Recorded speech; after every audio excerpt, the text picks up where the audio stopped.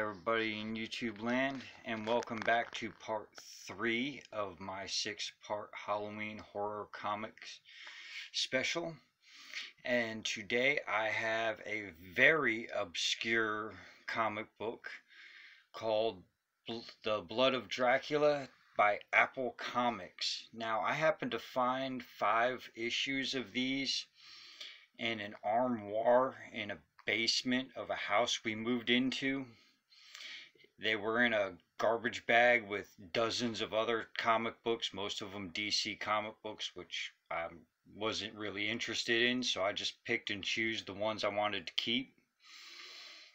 And these just so happened to stick out to me. Now, as you can see, I have issues 8 through 12, and they're all in black and white anthology comic books. There's like two to three different sto short stories per comic book. We have uh, Dracula 2099. We have Death Dreams of Dracula. Um, I do believe, yeah, Count Dracula is another story that's in this book. And each one of them contains three different stories mostly uh, Dracula 2020 not or 2099 and um, Count Dracula as well as present day Dracula. Now in these Dracula plays a good guy who only feeds upon the blood of bad guys. And the reason why I have this one right here on top is because the first story in this book is particularly my favorite. Because Dracula actually takes um, takes this one dude who's infected with AIDS, turns him into a vampire so he'll be able to live and AIDS won't kill him, and then gives the disease to a serial killer who's constantly killing people and has been caught and incarcerated in the same prison as this one dude. And it's a really, really cool storyline for something that's such only like four or five pages long because in the end the doctors who are doing experiments dream experiments on some of the prisoners think that the one prisoner that they infected with AIDS was just dreamed it. So he's not really infected when in all actuality he is. I mean it, it's a really really cool story. And it it yeah the dude that in the story gets what he deserves. But um, I mean,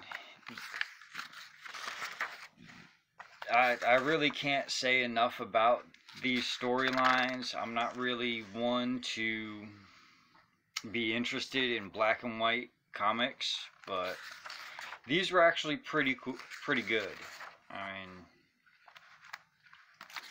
I, I was really surprised with the storylines and everything.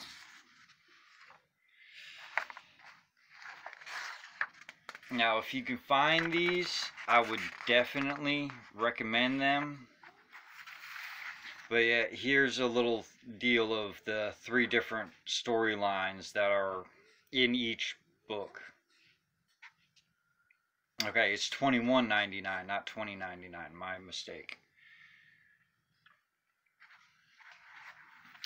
But I figured I'd bring these to you because they're extremely obscure comics. I, have never seen these in a comic book store prior to or since.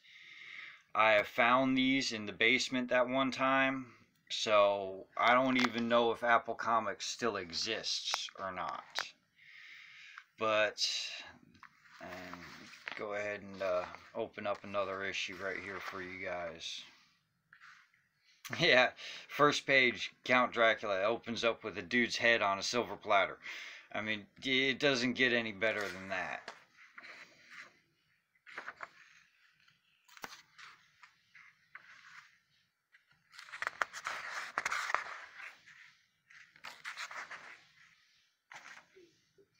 But that, that's pretty much it. I mean as you can see from the black and white and from the covers, it, they're really excellent artwork to these. And we even got a black and white Bela Lugosi picture here from one of the movies, which was pretty cool. This one's like a bunch of different letters written by that written by the main chick in the storyline about everything that happened.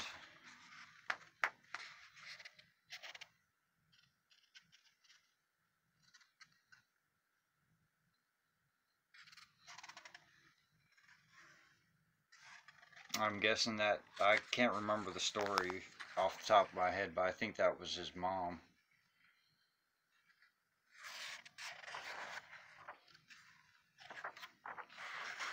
But anyway, that's pretty much all I've got. So if you guys have made it to the end of this and you like what you've seen, please hit that thumbs up button. Go ahead and uh, leave me some comments below. Tell me what you think. And uh, mostly I do AliExpress Lego review videos. So if that would be something you're interested in and you want to see some more of these episodes of the Halloween Horror Comics special, go ahead and hit that subscribe button and go ahead and hit that notifications bell so you can be notified for whenever these come out. And that's pretty much all I've got. So until next time, I'm Bones, you are whoever you are, and I am out of here.